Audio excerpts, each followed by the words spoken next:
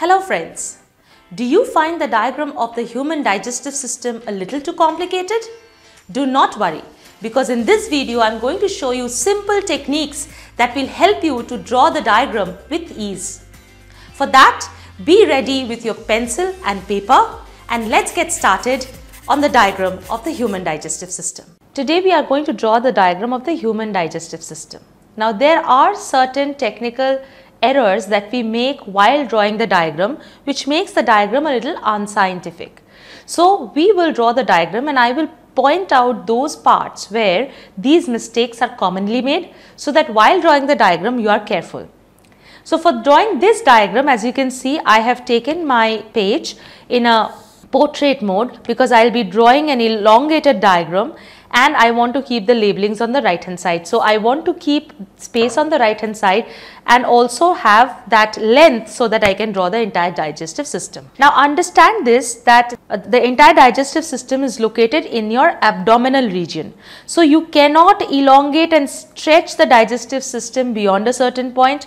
You have to keep it in a small space but yet get all the um, minute details correct.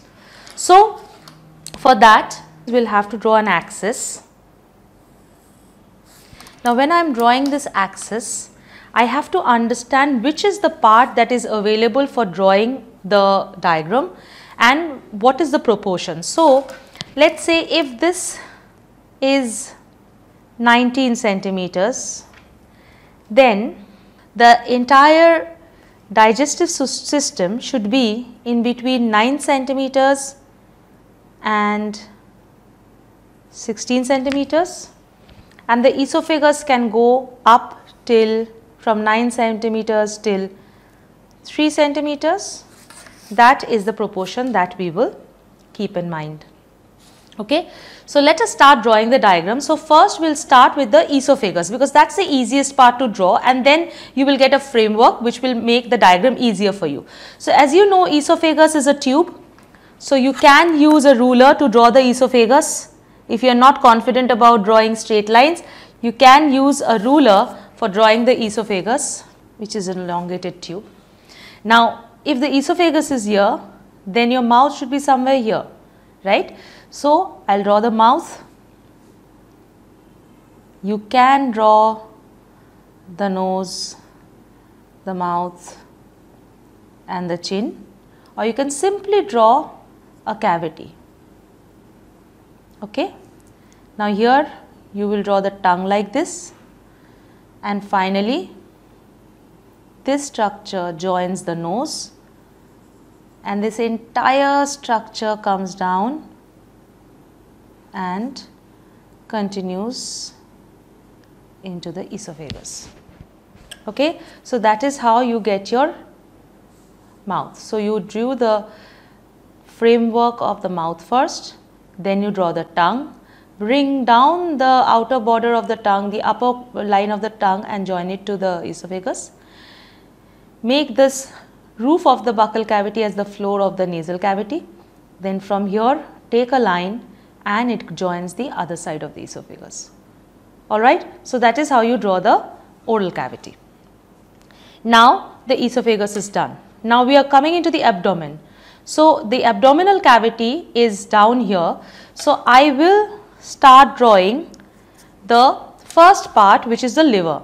Now, for the liver remember most of the liver is on the left hand side, a small lobe is on the right hand side which means most of the liver is on the right hand side of our body which means the left hand side of the diagram and a little bit is on the left hand side of the body which means the right hand side of the diagram. So, I will first draw the liver. Now you can understand if the body structure is like this, your liver can't start from here. So if you want, you can draw a framework first.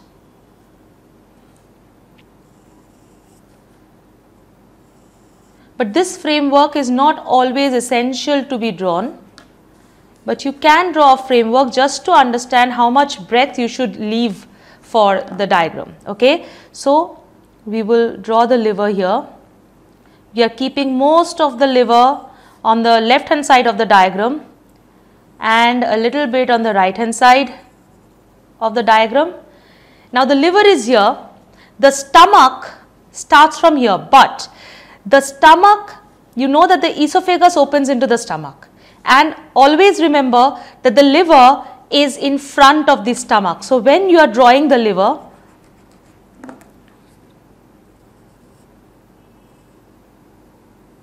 So, when you are drawing the liver, remember that the stomach is behind, starts behind the liver.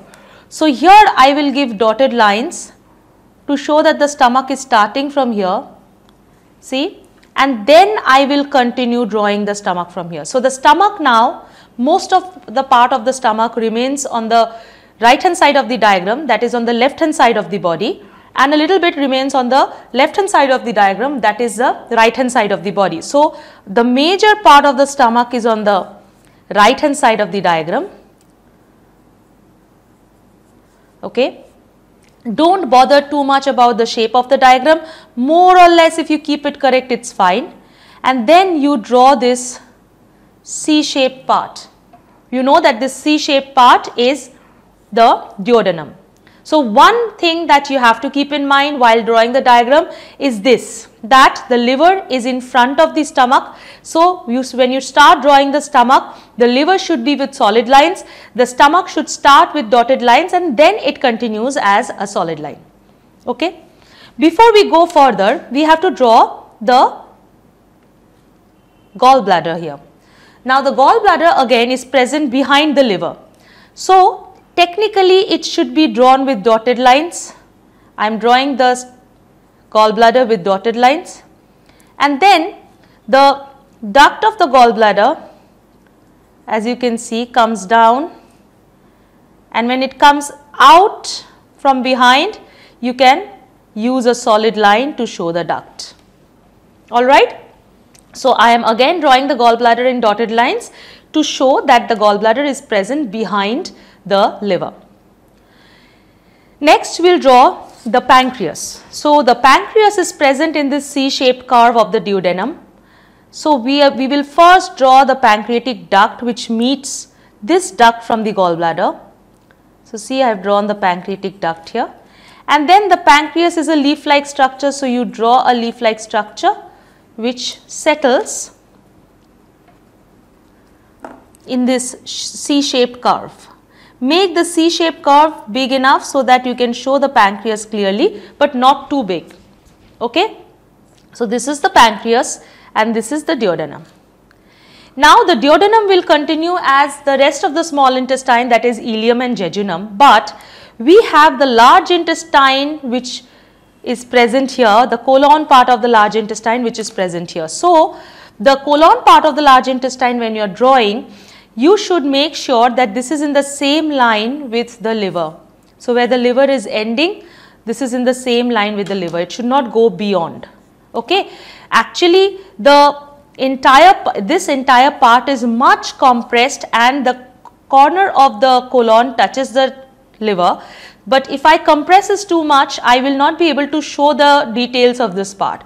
So, I have uh, extended this part a little bit, but always remember that technically this part, this colon part that I am going to draw is going to touch this part. But if it actually, if we actually draw like that, then I will not be able to show you the details of this region. Okay. So, when I draw the colon, I will first take a reference like line as always. As I said, make sure that your colon is in the same line with the liver where your liver ends and starts. Okay. So, this is your left reference line. Now, you know that the large intestine is a sacculated tube. So, you will not draw a straight line to show the large intestine.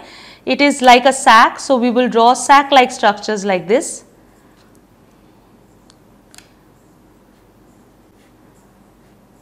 Okay. And here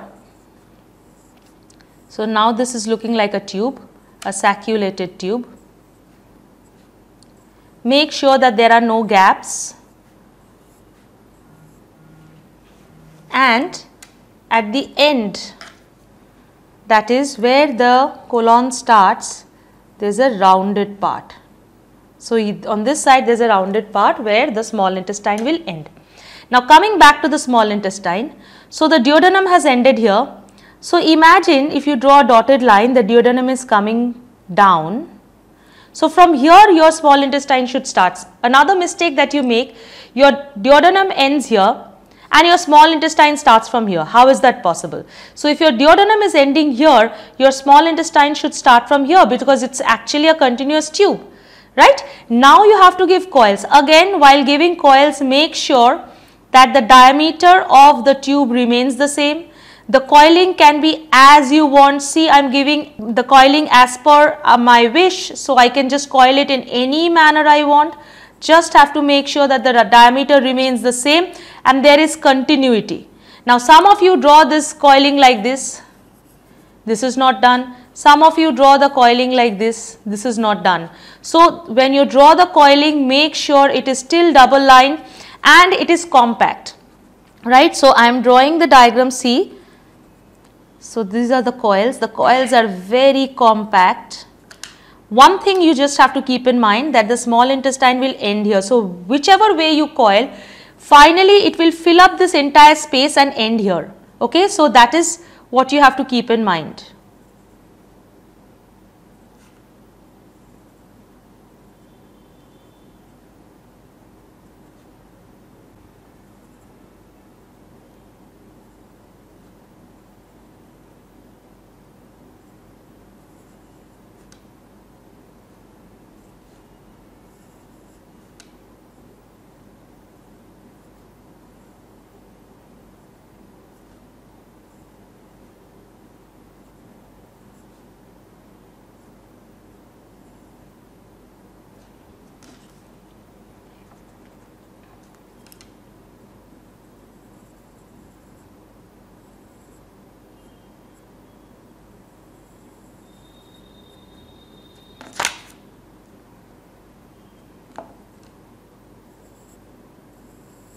You know sometimes while giving these coils just in case if a gap is left like this you can just fill it up with some false coils such that it is not understandable because this region needs to be totally filled up. Right? And you see finally it has come and joined here on the left hand side of the diagram. It has joined the large intestine. Now coming back to the large intestine, so the large intestine has ended here but it has to come to the center. So you continue with the sacculated tube as close to the small intestine as possible. And finally when it comes to the center we draw an inverted flask shaped structure which ends in the anus right. So, now I will erase all the reference lines and I will make sure that here there are no gaps left. So, it should not be that you have drawn the colon and the colon looks like this, there is a gap, then food will come out of the gap, right. So, we should not keep these kind of gaps, make sure that all the gaps are filled in everywhere. Do not try to shade any part because these diagrams for biology do not actually need too much of shading. Okay. So, now we are going to draw the appendix. So, I will erase all the reference lines as and where we had drawn it. Make sure that the diagram looks neat. Do not draw the left reference line such that when you are trying to erase it, the entire diagram is erased. Use very light hands while drawing the reference lines all right. So, I will draw the appendix. So, the appendix is as you know a finger like projections here, projection here and you can draw a tube inside the colon.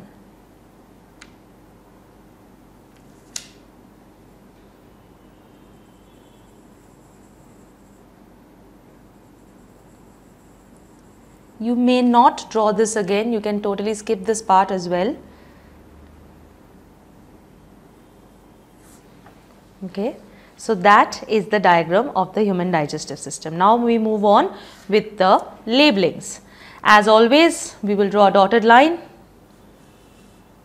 and all the lines will be parallel to each other and the labeling has to be done in block letters. So we will first label the oral cavity, then the tongue. As I had mentioned, lines should not crisscross each other. So these lines should be parallel to each other. The esophagus, the liver, gallbladder, stomach, pancreas. Since the duodenum and the pancreas, this region is becoming extremely congested, I will probably label the duodenum on the left hand side large intestine, small intestine, appendix, rectum and the opening of the rectum that is the anus. Okay.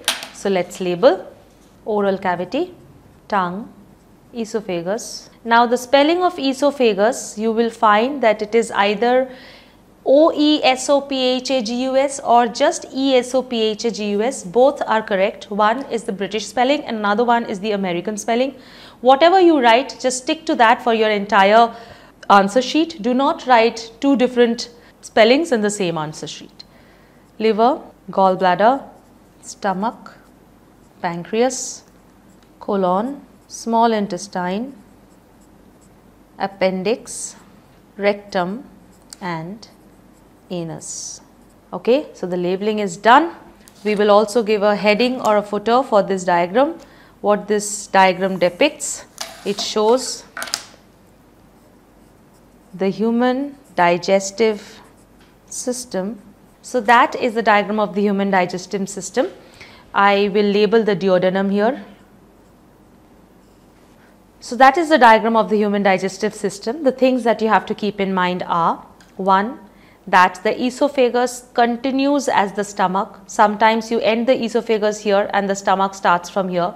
That is not possible. So, the esophagus is continuous with the stomach and that the stomach is present behind the liver. 2. The gallbladder is present behind the liver. So, also we are drawing it with dotted lines. 3. The duodenum continues as the small intestine. So, again this continuity should be clear. Even if you do not show it with dotted lines, at least the diagram should show that it is clear. The coilings in of the small intestine should be absolutely neat and clear, closely packed and present in the region surrounded by the large intestine and the large intestine is a sacculated structure which should actually come up here. But when we are drawing we have this liberty of keeping this small gap so that we can we can show the pancreas uh, in the duodenum region. Okay? So those are the things that you need to keep in mind while you are drawing the diagram of the human digestive system. And label it in block letters as i keep on telling you. And use these dotted lines. And please use rulers for drawing these lines and that will give you a very neat and clean look for the diagram. Hope you found this video useful and now you can easily draw the structure of the human digestive system. Do hit the like button and share this video with your friends. Do not forget to subscribe to our YouTube channel for more such videos. And do check out the full courses on our website manochaacademy.com and our Android app. We have courses for physics, chemistry, biology, mathematics and computer coding. Links are given below. Stay connected with Manocha Academy and keep learning.